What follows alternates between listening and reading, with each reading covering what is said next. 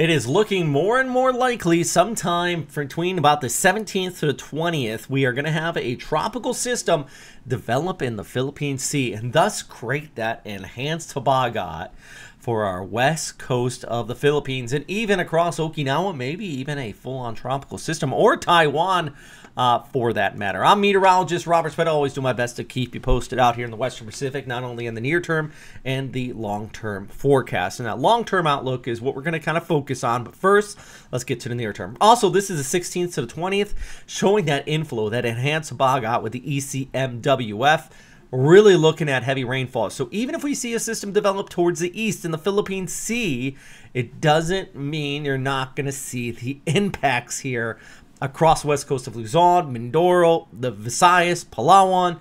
We're going to continue to monitor this one very, very closely. First off, let's uh let's jump over uh, to the current satellite picture. I'm going to keep these graphics on the screen if you want to look at them a little bit more here. And we have several areas. We have Danas, what is left of it, Bising, uh, just into southeastern areas of China. We have Invest 93W over Okinawa. Yeah, our friends out here across southern Japanese islands looking at rainfall. We have 92 right there. And then our potential next area would be down here towards the south. Now, here's some good news with this. You, you're probably looking at this going, four areas, what? But the energy is spread out over a broad region and whenever we see that you can't get that quite consolidation.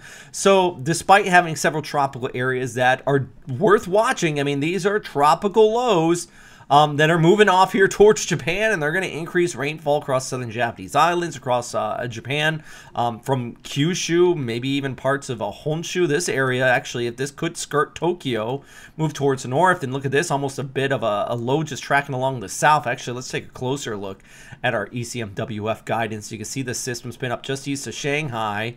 Then there comes that one coming in from the south. Both of these going to be rainmakers for Japan. All right. But um, the energy is just spread out over a, a, broad area. So I'm not anticipating an organized like strengthening storm system or anything like that. It's just going to be a big rainmaker. So uh, the good news is that since it's all spread out, you're not going to be looking at typhoon conditions. Bad news is it is a, it is a lot of rain. Um, yeah. Okay, so look at this right here.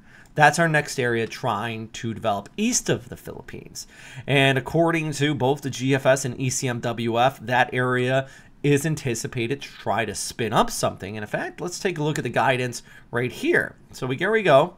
Watch this as it tracks towards the north, and that one being removed from those other areas, a 92 and 93W towards the north, could consolidate and help enhance that habagat.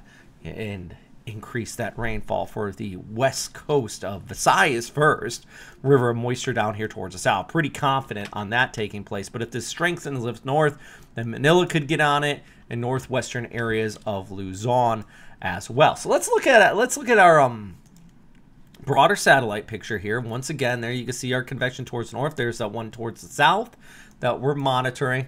Um, and then we take a look at microwave imagery. You can see all of this moisture flow and that energy spread out from basically southeast China over towards the south of Japan, uh, just south of that high pressure ridge actually located over Hokkaido. Hokkaido is really kind of that high is keeping us all towards south and helping spread out that energy just a bit. And even if we take a look at Invest 93W, see how it makes that hard right turn. We jump over to 92W, also making that hard right turn as well. So these storms just kind of getting compressed, energy spread out. You got it. You got the point there. All right, so let's take a look at, well, let's go to our, our friends at Windy here. This is the ECMWF. This is the 16th and the 17th over to the 18th see how this area develops. Almost the the latest ECMWF actually wants to develop something just off the north coast of Luzon and out here in the Philippine Sea. If we look at the GFS, it consolidates that area in the Philippine Sea a bit more and runs it as a typhoon into Okinawa by the 19th into the 20th.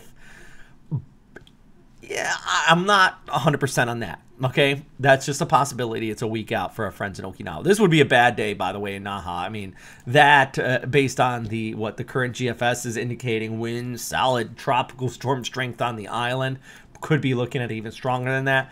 But we pull back the picture. You, one thing that is very noticeable in this is that a just enhanced winds right there pulled all the way from the Indian Ocean. And that's what we're talking about when we say the enhanced habagat. That's it right there. The clear cut textbook example, and you can see it somewhat here too. So once again, this would be sometime uh, between about the 16th to the 20th here where we would see that rainfall due to that increased risk of tropical development in the Philippine Sea now. So, yeah, I'm going to do my best to keep you guys posted on this. Of course, we're monitoring all these other areas out here from Taiwan to Okinawa towards um, uh, that area over the Ogasawara Islands. I mean, not going to downplay those and their broader impacts on uh, the weather out here but I do think our, our attention. Uh, this is just almost rainy season type stuff, some localized storms, localized flooding, but our attention needs to be on this area of convection towards the south and how that could develop separate uh, from those uh, areas towards the north here. So, um, yeah, if you have any questions, though, let me know in the comment section down below. I'm always here to help keep you guys posted and uh, keep you informed of what's going to be happening out here. But uh, it does look like uh, things really could be starting to heat up just a bit through that extended outlook. As always, thanks for watching. Stay safe out there where ah words. Stay safe out there. If you want to support this channel, check out our Patreon. Link is down below. Now we're going to put the stuff behind a paywall. I say that in all the updates, but it does help. It helps pays the bills. So thanks for watching. And number one thing, of course, stay safe. I said that already. Goodbye, guys. Have a good day.